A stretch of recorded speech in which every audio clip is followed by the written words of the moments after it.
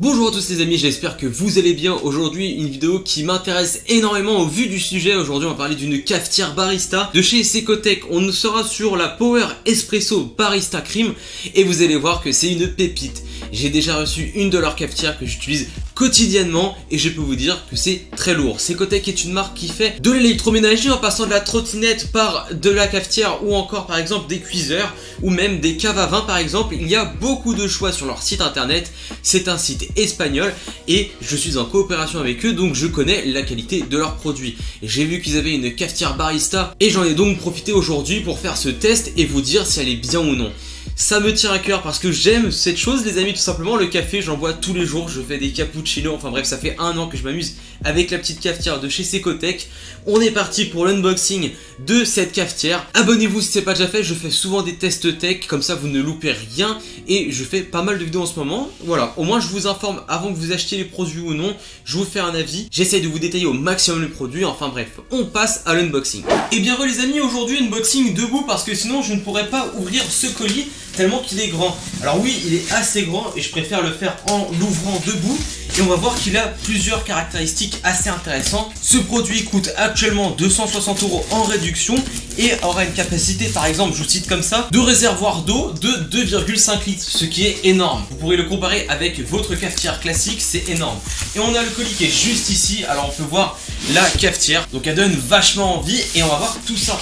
Alors ça va, elle est bien protégée parce que les colis de chez Secotech, parfois je les reçois seulement comme ça, quand ils sont gros généralement, pour les climatisations ou encore les trottinettes, c'est souvent comme ça. Alors que là, voilà, on a un carton par-dessus qui montre que c'est bien protégé et ça, ça fait plaisir. On va ouvrir tout ça et là, on va avoir tout ce qu'il faut pour la cafetière. Notamment les filtres à café, donc on aura un filtre pour café simple ou café double, le porte-filtre juste ici, avec double sortie pour les cafés. On aura ça pour tasser le café dans les filtres. La notice juste ici. On retrouve donc la cafetière juste ici. Ok, c'est super bien emballé. Alors j'ai pas mal de choses à dire et je la trouve déjà bah d'emblée elle est super belle. Alors on est du coup sur du 260 euros en réduction et hors réduction on est sur du 315 euros il me semble, 325.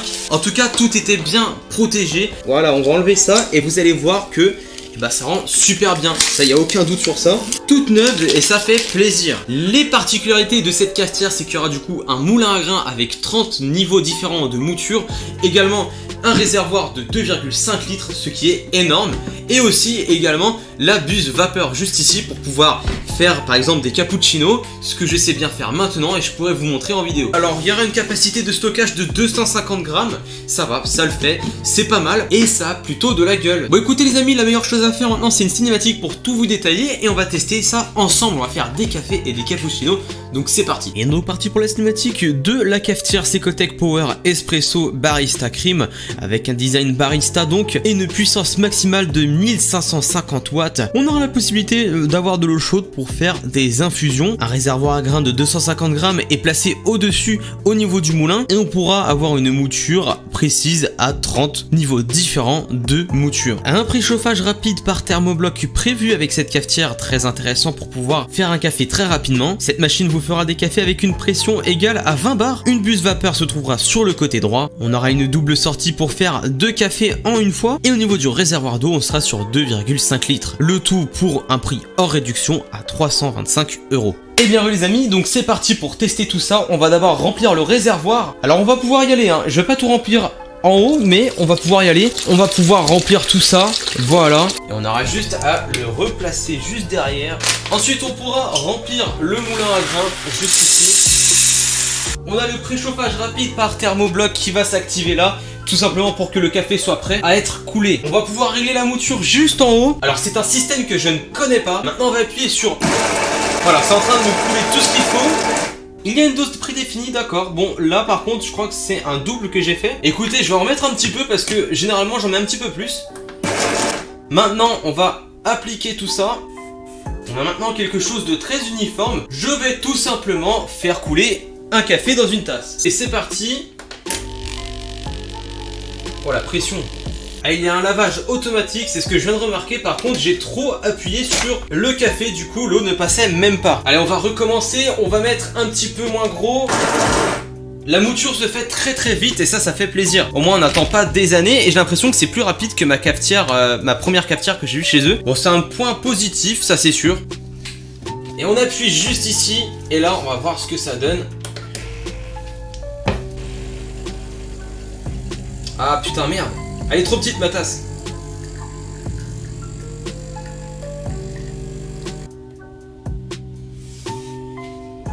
Le résultat en tasse est impeccable, on a une belle crème sur le dessus et maintenant je vais goûter tout ça. Alors par contre c'est super chaud, je vais tester ça, je vais goûter. Ok, bon, il est super fort. Il est super fort en même temps. Vu comment je l'ai géré, c'est normal qu'il soit fort. Il est super fort, et mais par contre, on a un super bon résultat en tasse, super beau, avec une belle crémation le dessus, et on sent beaucoup d'arômes. Et ça, ça fait plaisir. Je ressens même un petit côté caramélisé que j'ai pas l'habitude de retrouver. Est-ce que ça a été très chaud ou trop chaud, je veux dire, je ne sais pas, mais ce que je peux vous dire, c'est que là, en tasse, c'est super chaud. Alors, moi, je préfère quand c'est un petit peu plus tempéré. Ce que ça veut dire, c'est que je peux le boire directement. Là, je dois attendre quand même un petit peu. Mais sinon, on a un super beau résultat en tasse et ça me brûle bien les doigts. Maintenant, on passe à un cappuccino. C'est un petit peu plus complexe, mais c'est parti. Ok, donc c'est parti pour faire quelque chose avec la buse vapeur.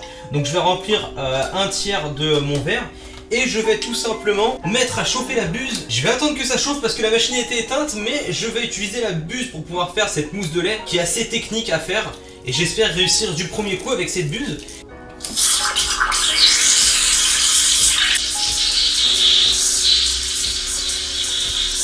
J'ai une grande facilité à faire la mousse de lait. Je vais m'arrêter là. On a quelque chose de super bien foutu pour faire des cappuccinos là. Je comprends pourquoi ils appellent euh, bah, le modèle comme ceci. C'est vraiment incroyable. Ça se lave tout seul, c'est incroyable.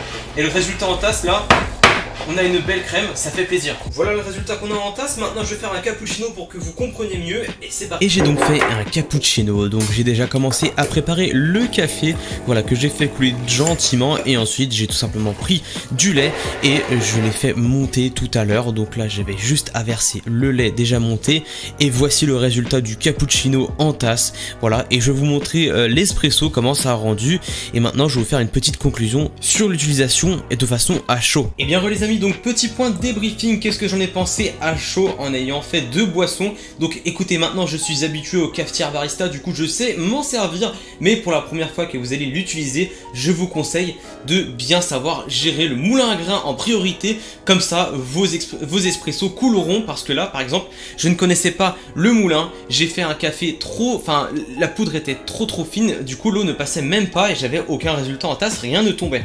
Il suffisait juste de savoir gérer tout ça et sinon, qu'est-ce que j'ai pensé de la machine en elle-même? Je la trouve déjà très très belle et je la trouve super pratique. Et ce que je veux dire aussi par pratique, c'est que la buse à vapeur est très efficace. On a une grande efficacité, on peut le voir juste ici, j'ai réussi à me faire un petit cappuccino et j'ai pas plus forcé que ça pour faire une mousse de lait et elle est devenue très lisse et elle a monté très très vite. C'est assez compliqué à gérer ça sur les cafetières.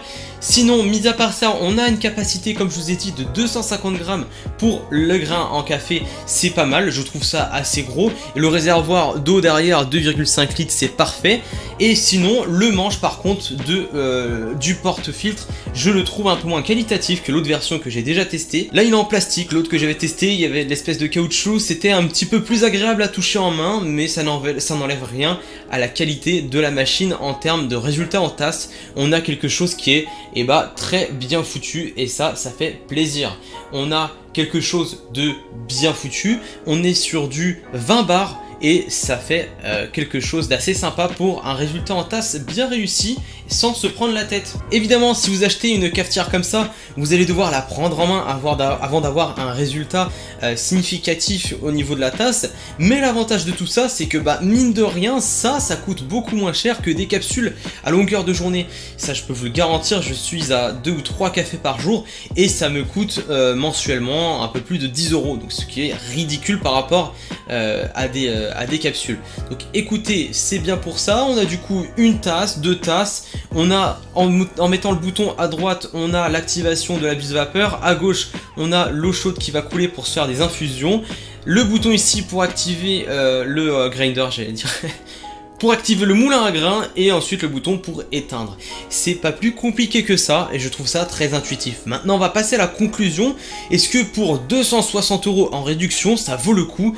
Je vais tout vous dire selon mon expérience, c'est parti. Et bien les amis, alors qu'est-ce que j'ai pensé de la Power Espresso Barista Cream de chez Secotec? Laissez-moi vous dire que j'étais assez impressionné par son design. C'est vrai qu'il a beaucoup de gueule et avec l'écran, enfin l'écran, non mais là où est-ce qu'il y a les boutons, en noir, je trouve ça super beau. Il y a un contraste entre l'argenté et le noir qui rend super beau et super professionnel. Et je pense c'est ce que vous voulez si vous voulez acheter une cafetière type barista ou est-ce que un petit peu comme dans les salons ou est-ce que c'est à vous de gérer la pression par exemple en ajustant la mouture de, euh, de votre filtre ou par exemple en utilisant ce qui va monter le lait en mousse, donc la buse. C'est là que vous allez intervenir, mais par contre il faut savoir prendre en main tout ça.